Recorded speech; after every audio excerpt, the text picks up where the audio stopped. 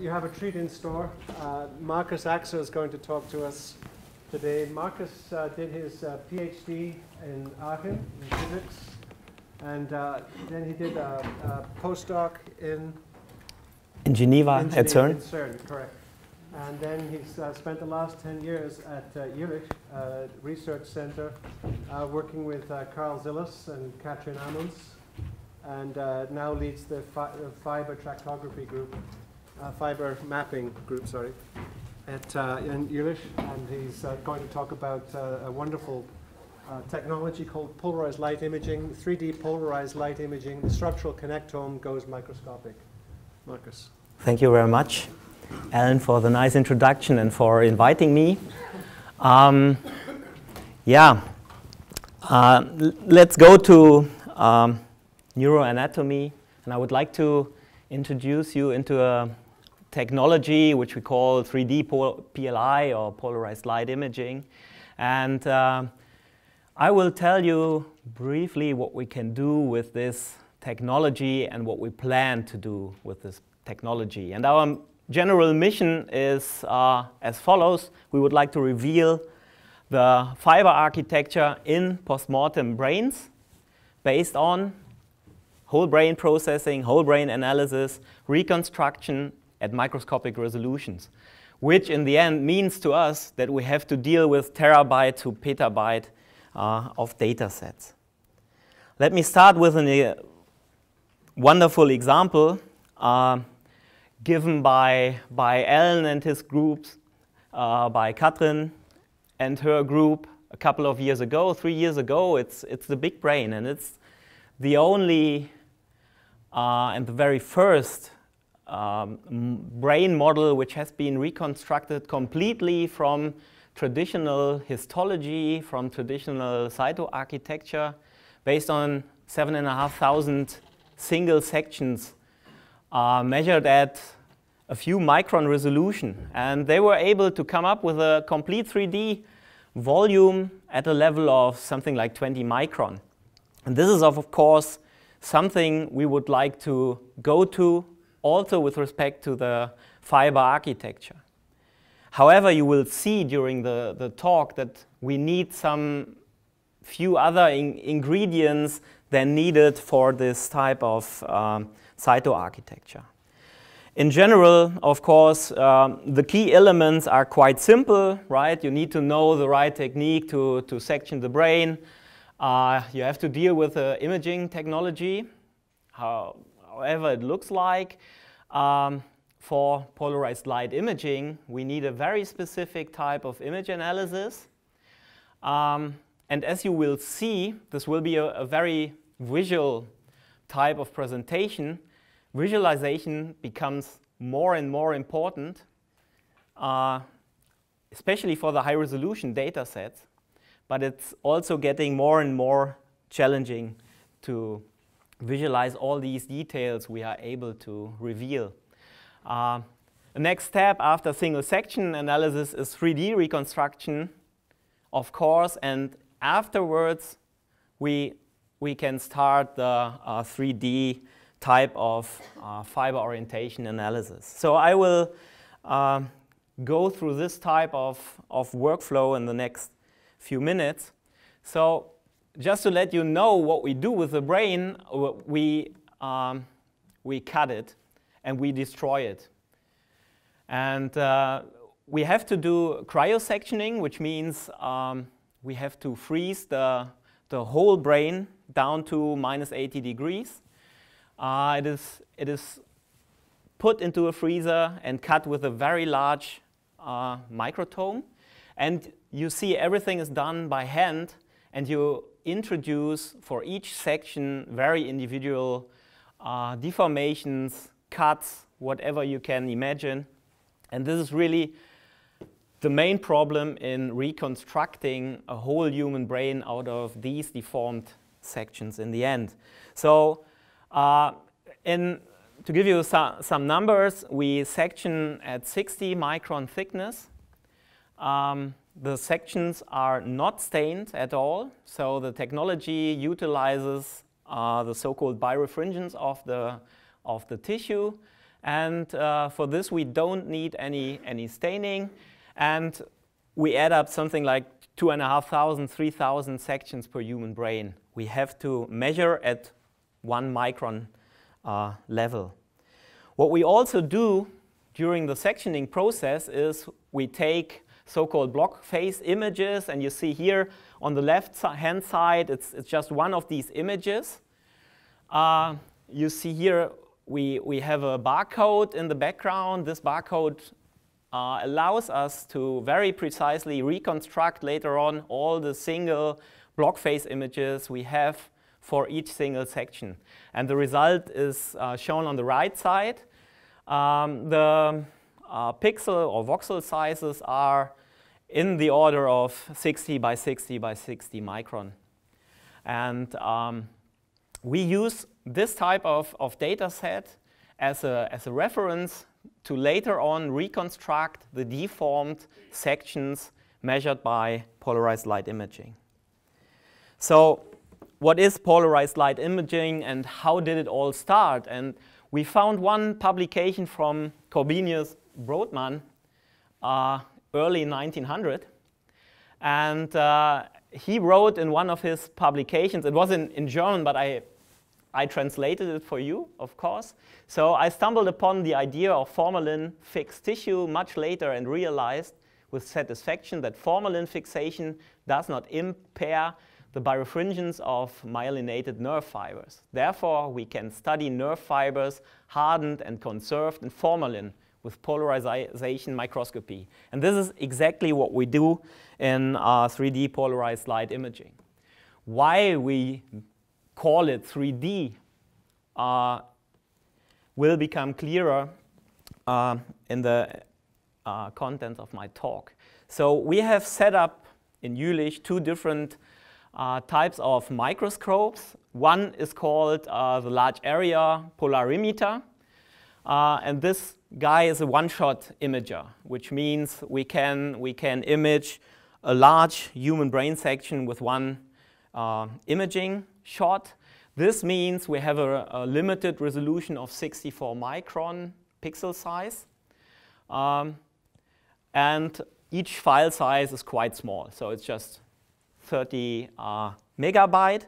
On the other hand, we developed together with a small company close to Jülich a, a real microscope which allows us to target 1.3 micron sized pixels, um, which means each large human brain section will be composed of about 100,000 by 100,000 uh, image pixels we have to deal with. And this also means we have 40 gigabyte of data per, per image, um, which means times 2,500 sections, we collect a lot of data just already in the, in the uh, imaging acquisition phase. So the large area polarimeter looks like this. So we have a, a tilting specimen stage. We put the unstained section into the, uh, the setup and we rotate different optical filters around this setup. And if you have a look through this, this section, we start to see strong changes of intensity while rotating all these filters.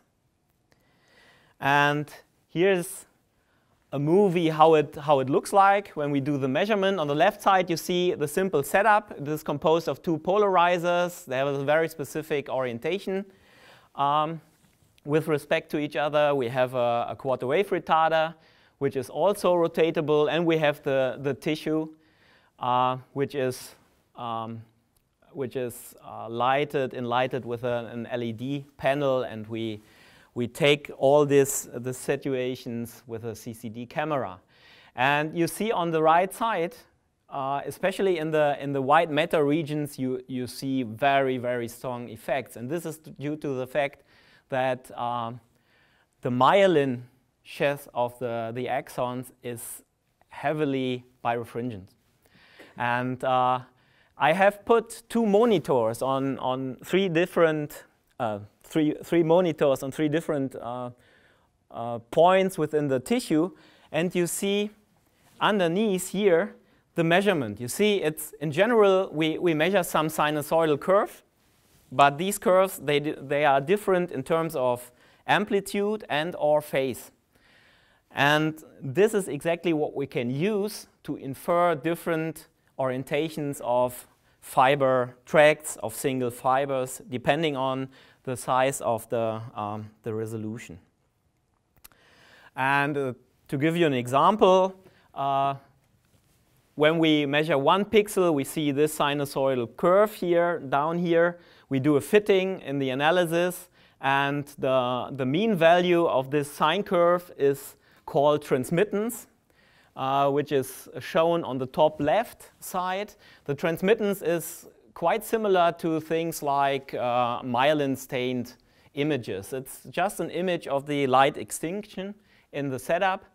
Then we have the, um, the phase of this, this curve, which is called direction. It looks like the image in the middle. And the amplitude defines uh, the strength of the, of the birefringence of the tissue, and it is shown on the top right. It's called retardation. And based on direction and retardation, we try to infer the three-dimensional orientation, local orientation of the fiber structures within each single pixel. Right? And you see, we, I've, I've already indicated that uh, we assign specific orientations, fiber orientations to specific colors in our images, and that's the reason why the next images you will see look so very pretty and, and impressive. So this is an example of a result uh, showing the 3D orientation of the fibers. On the left-hand side, you see uh, it's a visual system in a, in a vervet monkey brain. On the top right, you see a human brain, a complete human brain. Uh, the left one has been taken with a, uh, with a microscope at 1.3 micron, and you see, you can, you can immediately see and contrast single fibers inside the, the cortex into different layers of the cortex. And with a uh, large area polarimeter, 64 micron, we can have a look at the whole brain to see what's the, the long distance connection between the different fibers.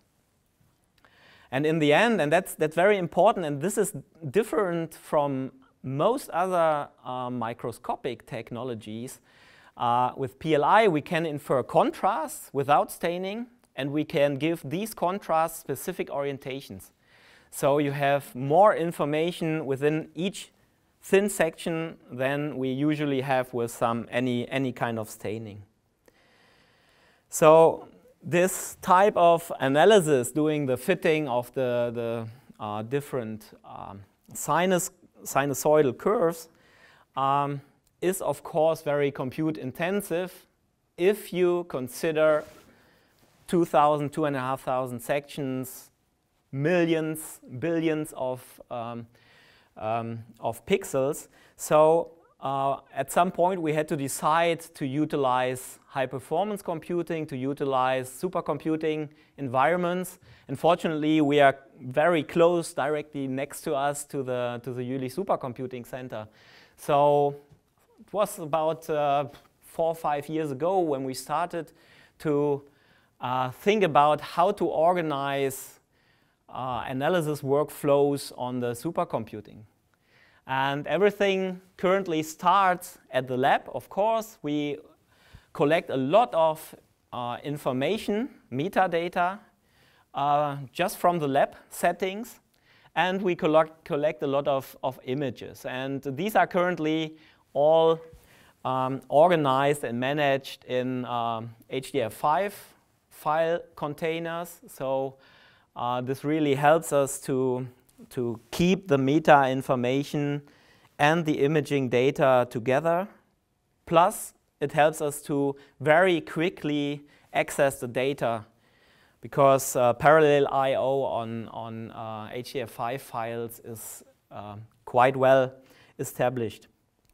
So based on this lab data, we can access from the supercomputing environment. In our case, it's a JURECA um, multi-purpose supercomputer in, in Jülich. Uh, we we acquire the data and uh, run the analysis section by section. Um, and this analysis includes this fitting of the data. It includes cleaning of the data. Um, for example, we, we apply um, independent component analysis to get rid of noise and dirt on the, um, on the measurements. Uh, we have to do some automated kind of uh, segmentation. So we are not interested in having some background in our data. Um, so, uh, and at the end, when we do the highest resolution measurements, we measure them tile by tile, which are overlapping. We have to do a kind of stitching to end up with a whole human brain without any hole. Um, and uh, to give you an example, it's, it's, so it's, it's shown like this. In the end, we, we would like to come up with this colorful fiber orientation map. Um, just to give you one example from, from the workflow, it's a, a segmentation algorithm. We have uh, implemented a seeded region growing algorithm. You see on the top left there, that's, that's one tile of an image, of a uh, PLI measurement. And uh, the green part above is the background and the tissue is uh, now highlighted in red. And uh, the, the algorithm tries to to understand which pixel, which image pixel belongs to which. And in this context, we, we tested different situations using just CPU-based supercomputing or using CPU and GPU um, input. And you can, we, we saw that we can easily um, get to a factor of 20 faster performance just using the GPUs for matrix, uh, for the matrix analysis of this, um, of this region growing algorithm. So when we do all this, um, in, in general, it's, it's not only interesting to have a look at the human brain. I mean, this is always the main goal, but usually you start with smaller brains, as everybody does. And for us, it's, of course, the rat or the mouse brain. It's shown on, on the left. Uh, it is the monkey brain, which is the next level of, of size and complexity for us, and of course, uh, the human brain. And all these brains, they all exhibit this kind of birefringence. And that's, that's pretty nice. So let, let me show you um, how a highest possible resolution human brain section looks like. Uh, it's, it's a visualization used by MicroDraw. It's, a, it's an open uh, source uh, project here from, from the Pasteur University, in, uh, from, from the Pasteur lab in, um, in Paris. And you see the incredible complexity of a single human brain section, right? The different colors, again, mean different orientations. When I switch uh, the gray valued images, these are all the different modalities we can also extract, right?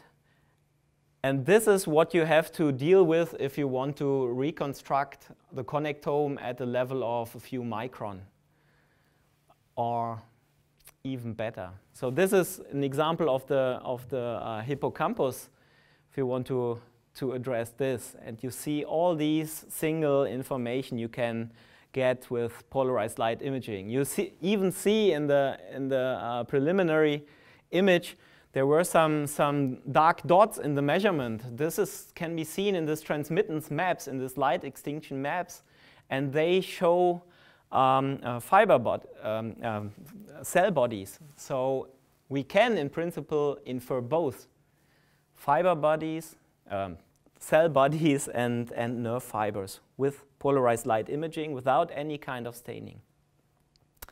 So all this already takes a lot of computation time, but the next step is even worse, right? So we want to rebuild the, the brain again, and um, that means we have to take all these sections, we have to uh, find corrections, nonlinear corrections for the different uh, sections.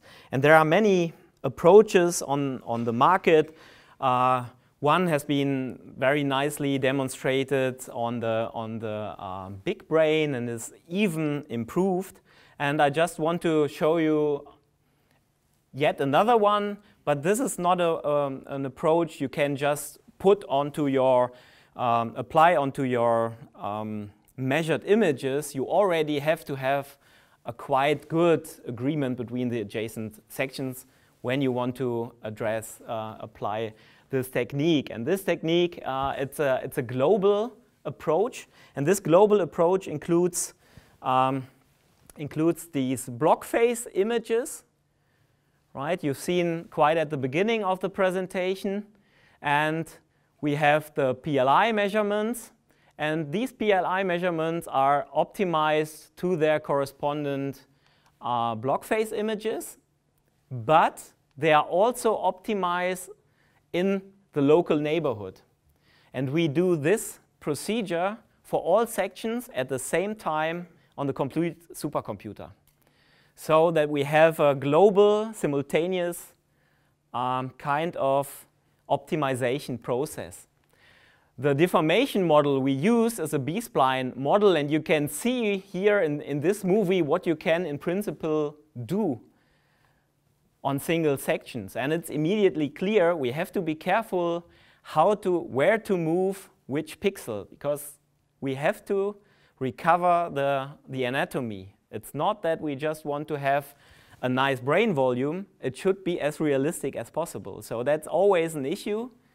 And it's always important to have uh, neuroanatomists who are able to tell us if uh, the reconstruction is more or less realistic from whatever knowledge uh, it can be uh, said. But you, you see what, what you can really do. And the optimization process tries to optimize this single section to the correspondence, uh, corresponding uh, block face image. The uh, the optimizer has been realized here by means of a Markov random field approach because the optimization process has in principle so many uh, free parameters that it is not um, computational if you do if, if we would um, uh, do it by a, a, a simple um, um a one-to-one -one optimizing process.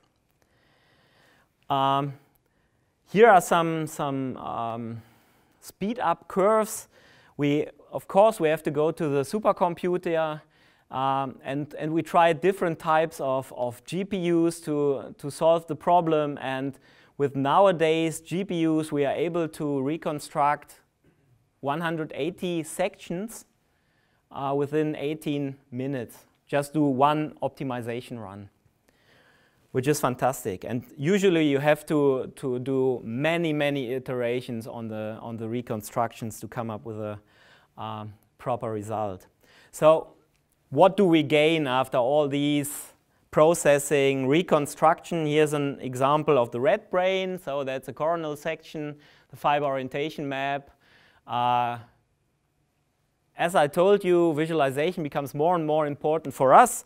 We, we realize that um, there are so many information inside a single section already that it makes sense to think about um, reducing this information to the observer. And this kind of, we call it spotlight imaging, is quite interesting. So you can go to the, to the data and you can manipulate by hand uh, the, the lookup, uh, the, the, color, the color code. And so you can um, project out your orientations you would like to see. Right, so it's a kind of, of, of virtual tractography. So this is the first 3D volume reconstructed at the level of uh, 60 micron voxel sizes. And this is a virtual sectioning through the uh, reconstruction. And you can see we can already quite nicely reconstruct for example, the corpus callosum uh, at a quite precise level. However, you still see misalignments. So um, dealing with this post-mortem reconstruction means continuously improving the accuracy of the setup. But at least it's the first time that we could make a kind of um, proof of principle to show that it is feasible to reconstruct uh, the fibers. And the next step, of course, is as usual, you, you always need a reference space um, to provide the data, to share the data, and for the, for the rodent brain, it's, it's clearly the Waxholm space. Um, and this is a project in the, in the framework of the Human Brain Project. Um, we, we are doing together with um, uh, Oslo University and Jan Bjaalie's group. And uh, we managed to bring this uh, PLI data set into the Waxholm space and applying in the next step uh, uh, some anatomical uh, segmentations to the data sets. It's shown, shown like this. So this is also a way of, re of uh, reducing the immense number of uh, information you get. And this is a reconstructed red uh, corpus callosum based on the segmentation in the Waxholm space. If you're interested in this type of, um, of um, work, you should meet uh, my colleague Nicole Schubert tomorrow at the, at the poster. Um, yeah, next size, vervet monkey brain, it looks like this, right? You can identify many, many uh, anatomical structures, and we were able to reconstruct a couple of weeks ago for the first time uh, 60 sections at 1.3 micron resolution, and you, you see it here. It's, uh, it's a cutout in the basal ganglia uh, region, and you can nicely see this is the reconstruction just of the, of the amplitude of the birefringent signal. So there's no orientation in it, there's no tractography done, and you can al already see that, uh, that you can identify in some regions where the fibers are not too dense, single fiber or small fiber tracts.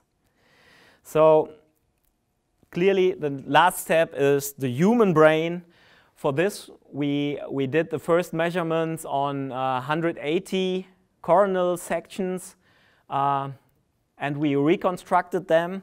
And what you can see in the next movie is uh, in the back, you see the retardation image, which means the amplitude image of our PLI measurement. And here you can see the extracted orientation vectors, also color-coded. And you see the next cons 10 consecutive orientation vectors in depth so that you can see how the orientation changes in depth, right? And we start with, let's say, MRI resolutions uh, at one, one millimeter. Uh, and so we are, we are going to one, one region. We increase the resolution because we do have the resolution to do that. And now we move in, into depth, right? And you, you can nicely see how the extracted orientations, they agree with the anatomical basis. But keep in mind, these, these orientation vectors, they are in 3D. It's just like a projection now in, within the, the image. And now you see the combination of the two measurements of the high resolution microscope and the lower resolution large area polarimeter. So we can go into the same section, do a much higher um, measurement, and now you see within the sagittal stratum um, crossing fibers. It's usually it's a it's a field with fibers coming out of the coronal section, but here you you can still see crossing fibers within this region. So in principle, with polarized light imaging, we can really address this kind of the idea of Google, Google Brain um, in future. So high resolution is nice, but how to integrate these data into well-known um, uh, technologies such as diffusion MRI, which is much, much coarser and which needs in some cases, especially for tractography, uh, some guidance. And uh, we thought about this, this problem also, and quite recently we, we came up with an idea that we can uh, have a look into our high resolution data. This is a, a cutout here. You see a patch of fibers running in different directions, they are crossing. Um, and what we can do is we can make statistics on uh, single regions of interest. Statistics means we uh, create uh, orientation uh, vector histograms on a sphere with the contents of the different orientations measured within, for example, this, this uh, region here. And afterwards, we fit this distribution with um, spherical harmonics. And so we end up with a very MRI-like, diffusion MRI-like data set. And this will help us in the end to, to rescale, to find similar features in the different uh, modalities. So coming to the end, um, it looks like as if we can uh, fill a gap which is present between the MRI world and the really ultra high resolution world of small samples here with, with our PLI technology. And in far future, of course, uh, we, will, we will add more modalities. Receptor architecture is quite interesting. We would like to combine cytoarchitecture, fiber architecture with receptor architecture into, uh, let's say, multi-model, multi-scale brain models of different species. And with that, I would like to thank you very much. Thank you to all my, my colleagues uh, and my team in special. Thank you very much for listening.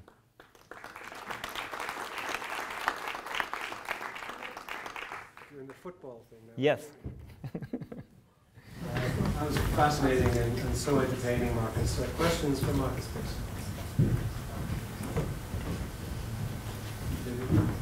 Do you know how much DTI or So is that giving you a way of seeing how much you lose uh, when you were doing diffusion imaging? And, uh, and is that like I'm, I'm trying to think of ways of using that as validation of uh, or, or non-validation of the uh, diffusion imaging, given given the recent papers on like with the tracers and the in the, in the macaque and the uh, Yeah. Yeah, it's, I think we, we get an idea what we lose, if you would like to call it, but it's, it's even more interesting to see the other way around. When you measure in diffusion MRI uh, some, some kind of, um, of spheric distribution of fibers, this might help us to understand why it is the case and um, uh, why this is the case in the very specific region you are looking at. So it's, it's, like, it's really like a, a guidance and maybe understanding a bit more on the deep microstructure of the fibers.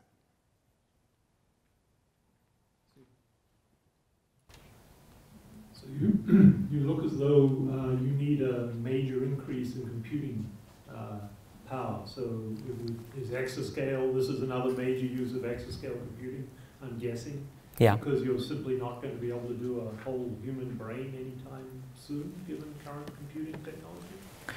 Um, for the reconstruction, it would be already possible to use the, um, the current setups.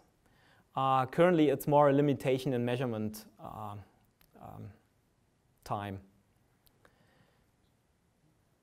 But of course, if you, if you, in the end, if you want to do a tractography on the high resolution data, uh, that's, that's, the next, that's the next step. And for this, you certainly need the next uh, exascale generation of supercomputers.